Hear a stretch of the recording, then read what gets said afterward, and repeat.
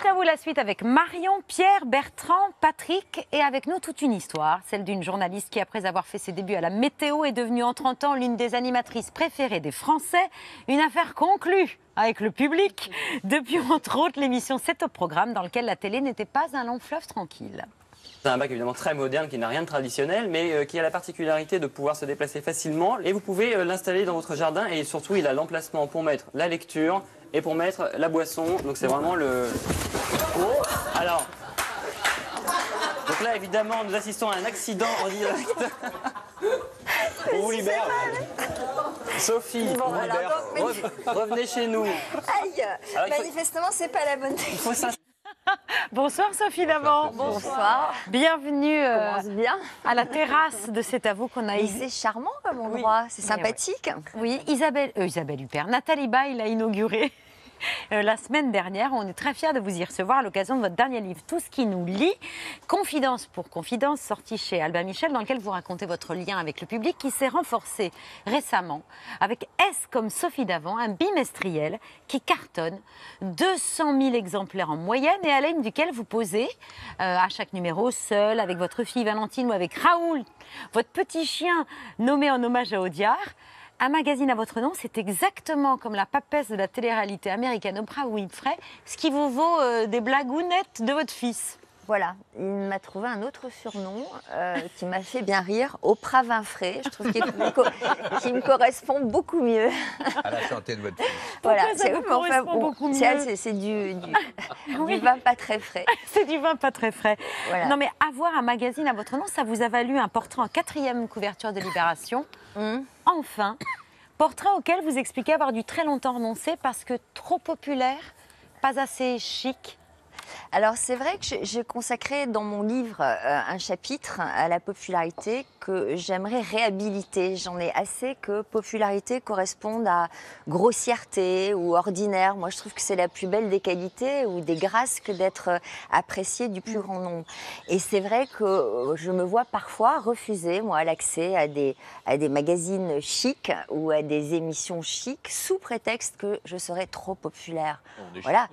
Euh, ben, euh, ben oui, mais je- voilà. Mais il y en a d'autres, il y en a d'autres. Il y- en a d'autres, oui, euh, une sorte de, de parisianisme élitiste où vous êtes chic, justement, populaire dans le bon sens du terme. Voilà. Mais vous parlez carrément de racisme social. Bon, non, je- j'exagère pas, non, mais ce livre est une sorte de portrait de la France populaire et en tout cas des caractéristiques de ma, de ma personnalité qui pourraient faire écho en celle des Français. Donc voilà, qu'est-ce qui, dans mes traits de caractère, correspondrait au portrait d'une France populaire et profonde. On a pas mal de choses en commun, euh, à savoir le respect de nos racines, le sens de l'humour, un œil qui pétille, une sorte de, sincérité, de franchise, mais aussi des doutes, des zones de fragilité. Donc moi, je, me livre dans, tous ces chapitres, euh, mais je, pense que c'est peut-être ce qui a cristallisé ce- cette adhésion du public depuis tant d'années. Vous le savez, faire une émission au quotidien, moi j'en ai fait plein. Euh, J'ai fait plus de, de 20 ans de, de, de C'est au programme, 7 ans de toute une histoire, euh, plus de 23 ans de Téléthon, je crois. Je suis très fière de ces longévités. Mais ça se passe pas comme ça, une longévité. Il faut se remettre en question tous les jours, il faut, il faut euh, s'adapter à l'évolution du goût du public. Euh, vous, vous en savez quelque chose. Être à l'écoute, quoi. Être à l'écoute, c'est vrai. Et dans S, le magazine, vous nous apprenez comment et où se procurer la fameuse coupe Sophie Davant, car elle est très demandée dans les salons de C'est coiffure. ouais. C'est vrai que des, des fans de Sophie Davant arrivent en disant je veux la coupe Sophie Davant, c'est son nom. Dites-moi en plus parce que ça m'intéresse. Ben, elle est là, elle s'appelle Magali, elle est en coulisses et euh, voilà. Alors c'est très subtil hein, parce que là encore, c'est comme les goûts du public, il faut faire évoluer la coupe très subtilement d'année en année. On passe du très court au plus long, euh, etc. Mais je pense que vous avez une bonne Oui, qualité de cheveux. Non, Ouais. Non, mais je, pense qu'on pourrait y arriver. Et est-ce qu'on commence à réclamer la coupe Raoul? Euh, je sais pas. Alors moi, mon souhait, je- j'en ai assez d'être seule en couverture de ce magazine. Ah. donc Ah oui, je donc, veux oui. partager les couvertures. Donc je l'ai partagé déjà avec Raoul, c'est Avec pas mal. Mais je vous garantis que le prochain numéro, qui sortira au mois de juillet, je partagerai la couverture avec quelqu'un que vous connaissez bien. Ah. C'est pas la surprise. Voilà, je, je veux partager. Et notamment, euh, j'aimerais partager la couverture avec la personne que j'interviewe Oui, parce longuement. qu'il y a eu Sylvain Artan, Christine Ockrent. On va revenir sur Mais là, Catherine. Rancol, c'est- la première. C'est Raoul. Raoul, et vous, vous lui consacrez carrément l'édito du dernier numéro et vous dites Nous nous sommes reniflés et adoptés d'emblée. C'est vrai. Comme nous, Babette, finalement. et, vous, et vous donnez un conseil qui peut servir euh, à nos téléspectateurs. Se balader en compagnie d'un chien se révèle également un moyen efficace pour entamer des conversations et s'ouvrir aux autres. C'est aussi efficace qu'un site de rencontre. Mais c'est vrai. Ça marche vraiment? Ça m'avait, ça m'avait frappé dans ce dessin animé Les 101 Dalmatiens. Vous savez, Oui. cette scène-là. Alors, déjà, c'est. Déjà, c'est un site de rencontre. Et après, le, quand on voit se balader les chiens, euh, ils ressemblent souvent à leur maître ou leur maîtresse. Bon, c'est pas le cas avec Raoul. hein. Il est un peu plus noiro, on va dire. Mais, euh, mais oui, bien sûr qu'on on, on entame la conversation très facilement. Et vous êtes un, un vrai phénomène. Vous inspirez même les candidats d'affaires conclues qui, parfois, vous réservent de jolies surprises, comme avec Gertrude. Est-ce que vous reconnaissez J'ai du mal. Qu'est-ce que c'est On expertise ce tableau-là? Oui. C'est vous qui l'avez pas?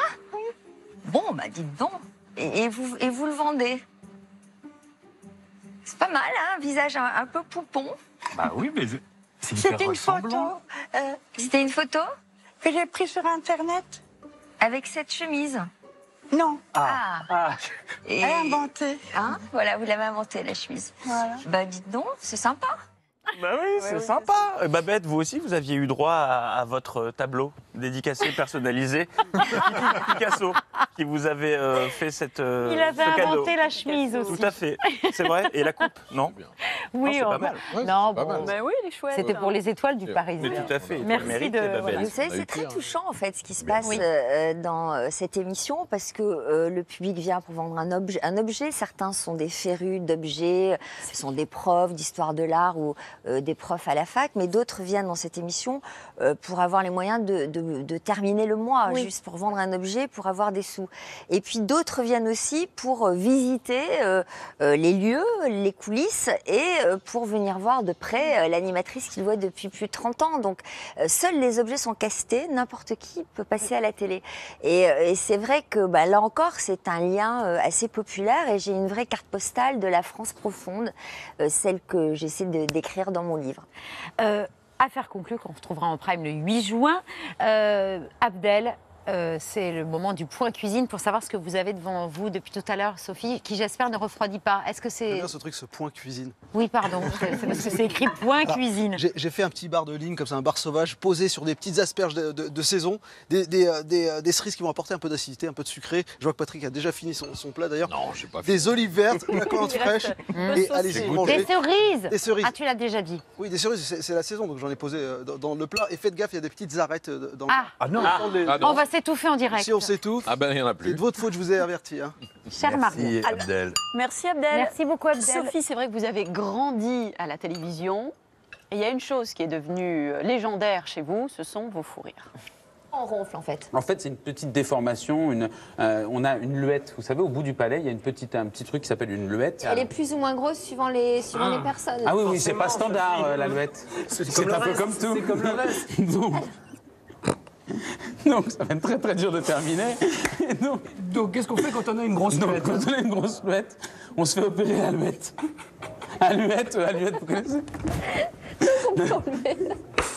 Non, non, il y a des opérations chirurgicales, une intervention chirurgicale classique, ou une intervention au laser qui est beaucoup plus légère.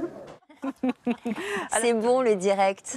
Ah Vous avez de la chance pour de travailler en direct. Ouais. C'est formidable. ça, c'est génial. Ah ouais. William Lémergie, qui n'était pas un grand amateur de fou rire, euh, vous avez donné un conseil, méfiez-vous du syndrome de la salle de bain. Alors si, quoi, il est, syndrome il est de la- amateur du fou rire, parce que c'est quelqu'un qui a beaucoup d'humour. Mais et- à Et qui l'antenne me fait beaucoup rire, en tout cas. Non, en fait, il, il avait peur que je sois trop naturelle. C'est-à-dire Ah. que euh, je suis tellement oubliez à l'antenne comme je, comme je suis dans la vie. Il avait peur que. J'ai l'impression d'être dans ma salle de bain. Or, c'est vrai qu'on s'adresse à quelques téléspectateurs et euh, qu'on ne peut pas se permettre de dire n'importe quoi. Mm. Donc, il y a des moments, il, il retenait sa respiration jusqu'au jour où il a compris que... C'est bon, ça va, je maîtrisais quand même, à peu près, hein, à peu près. Depuis plus de 30 ans, vous entrez dans le Salon des Français, vous les avez réveillés, vous avez rythmé leur après-midi, parfois même leur soirée. Et pourtant, vous avez toujours le sentiment de n'avoir rien fait, ou en tout cas Alors ça, c'est pas du tout de l'amertume, c'est une sorte de, de philosophie de, de vie. C'est, j'ai toujours l'impression que le meilleur reste à venir, et c'est formidable parce que au fond, j'ai l'impression que la meilleure émission, la plus belle histoire d'amour, je vais la vivre demain.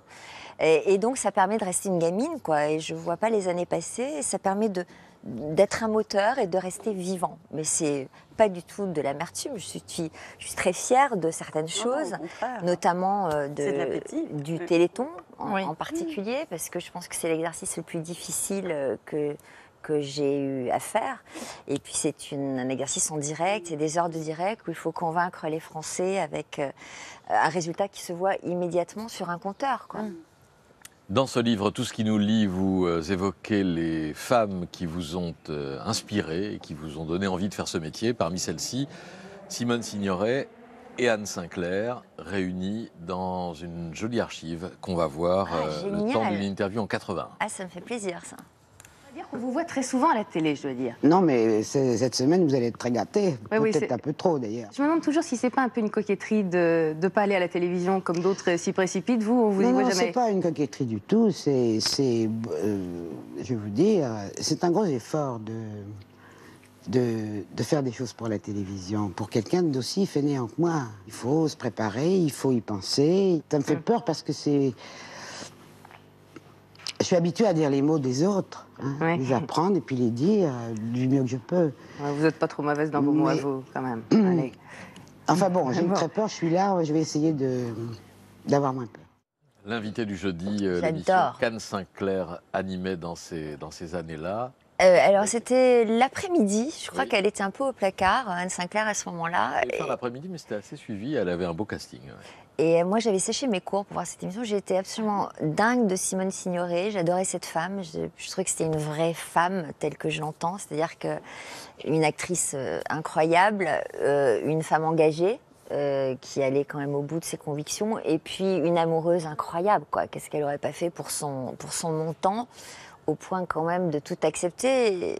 Euh, elles avaient quand même ce point commun avec euh, Anne Sinclair qui, euh, elle aussi, comme Simone Signoret, a été euh, euh, ben, affichée euh, dans le monde entier pour des histoires de tromperie de leur mari, quand même. Voilà.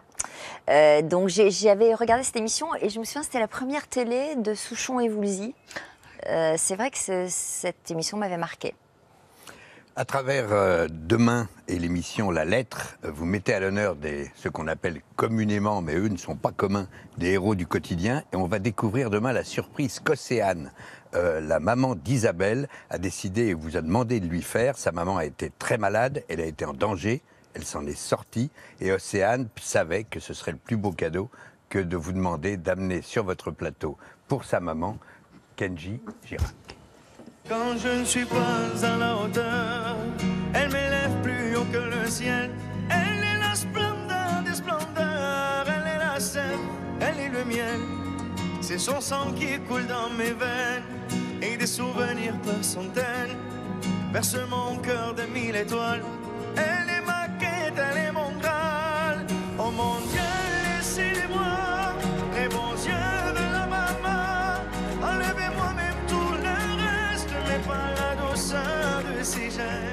On vous voit ému car... Mais euh, j'étais plus émue que, que la maman, donc c'est dingue quand même, non? C'est dingue en même temps. Isabelle a eu un cancer et s'en est sortie, mais votre maman, elle, Ouais. elle avait été emportée quand vous aviez 20 ans. Oui, ouais, c'est pour ça, c'est vrai que ça m'a touchée. Et euh, j'ai été très touchée aussi que sa fille veuille lui demander pardon de s'être mal comportée pendant son adolescence, ce qui n'est pas le cas de la mienne, hein, je vous rassure. Moi, j'ai des enfants euh, adorables. Euh, mais c'est vrai que ça m'a touchée, le, le- le contexte, de voir cette femme qui prenait sur elle, qui était certainement très émue, mais qui ne le montrait pas. Je me suis vue plus pleurer qu'elle. Donc c'était très étonnant comme, comme moment, en tout cas. Très beau. Euh, alors oui, dans cette émission, on met des héros du quotidien, des, des personnes qui font du bien autour d'elles et qui s'attendent absolument pas à se retrouver là devant leur- leurs idoles.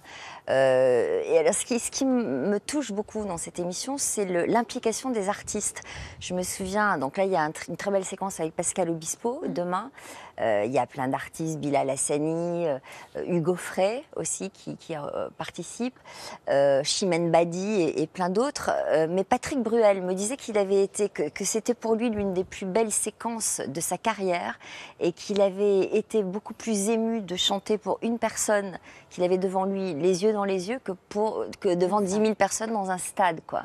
Ils étaient très, très, ils sont en général très émus et ce sont des moments qui donnent du sens à leur, euh, à leur carrière aussi parce que c'est pas tous les jours qu'on peut réaliser à quel point euh, euh, on est important dans, dans le quotidien des gens. Je me souviens de Sylvie Vartan euh, qui, qui n'avait pas conscience de l'importance d'un artiste populaire justement et du fait que ses chansons pouvaient rythmer la vie des, de son- du, du public. Sylvie Vartan, qui était dans euh, Est le magazine, euh, une- un long entretien. Christine O'Crinte également, que- qui était l'une de vos idoles et l'une de vos inspirations euh, de journaliste à la télévision, euh, que vous avez rencontrée, qui vous a un peu désarçonné aussi à Oui, sa parce façon. que j'avais écrit un mémoire sur elle dans- quand je faisais- quand j'étais à l'école de journalisme, et donc ça m'amusait de la retrouver euh, 33 ans plus tard. Et évidemment, elle a toujours beaucoup d'humour, Christine, et, et donc ça m'a plutôt amusé que ce soit moi qui sois à la tête d'un magazine féminin, alors qu'elle avait été la reine Christine. euh, Et donc c'est la première chose qu'elle a souligné, qu'elle, elle n'avait jamais eu de magazine féminin. Quoi. La lettre, c'est demain à 21h05 sur France 2, à ne pas louper, avec Patrick Bruel. Euh, Alors non, demain, Kenji- Patrick Bruel, il a déjà été Ah, diffusé. déjà demain, c'est Pascal Obispo, Oh, Kenji Kenji. Girac, Ah bah, euh, Chimène Badi, euh, Bilal Hassani, Hugo Frey, et je dois en oublier, mais euh, plein d'artistes formidables et généreux. Puis je, je vous recommande aussi euh, le prime d'affaires conclu le, Oui, le en 8 parler. juin. À 21h05. Parce que là, on a changé carrément la mécanique de l'émission et on a opposé à nos 7 acheteurs euh, traditionnels 12 acheteurs que personne ne connaît et qui sont spécialistes de l'un des objets qu'on va leur proposer. Ah. Et du coup, alors là, on bat des records, je ne vous en dis pas plus. Ah oui. Mais c'est étonnant et spectaculaire. C'est le 8 juin, le grand défi à 21h05, toujours sur France 2.